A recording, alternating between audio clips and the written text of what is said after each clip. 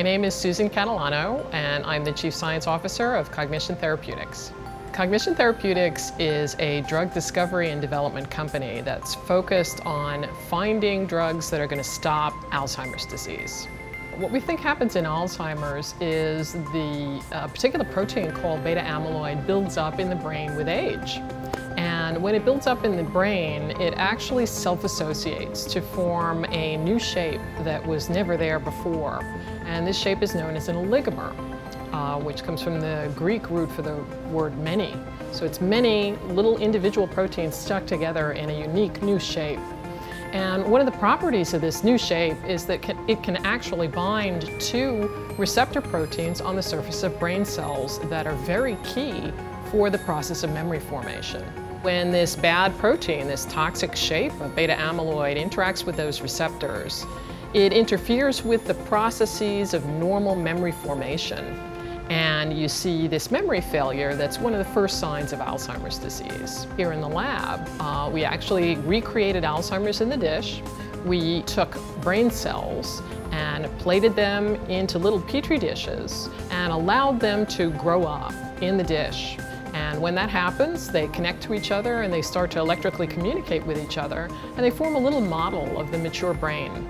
So what we discovered was that this toxic beta amyloid oligomer actually binds to a very specific receptor that was never implicated in Alzheimer's disease beforehand.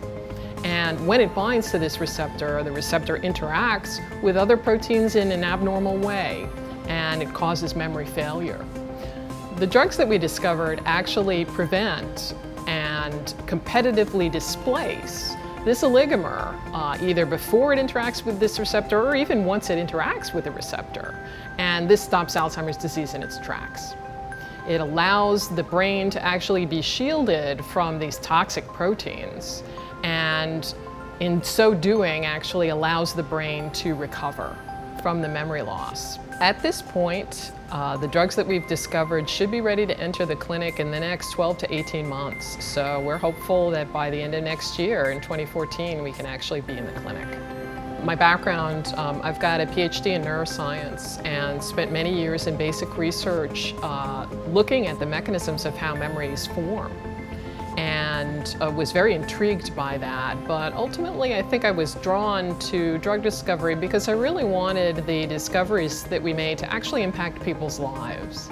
And I wanted to actually be part of the industry that discovers the medicines that really have such a profound effect on patients and on disease. As I focused on the problem specifically of Alzheimer's disease, which is certainly near and dear to my heart, uh, it really occurred to me that there was a better way to actually go forward. And that idea of how to discover the drugs in a faster and better way actually is what started Cognition Therapeutics as a company.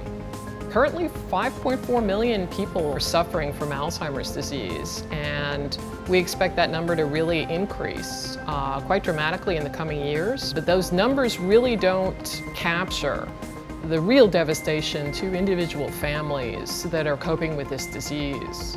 Just at the time of life when people can really make such wonderful contributions to their families, they're actually being taken out of the picture. At a time when our nation can really use uh, some wisdom, we're really losing uh, an entire generation of wise elders to this disease. It does not have to happen.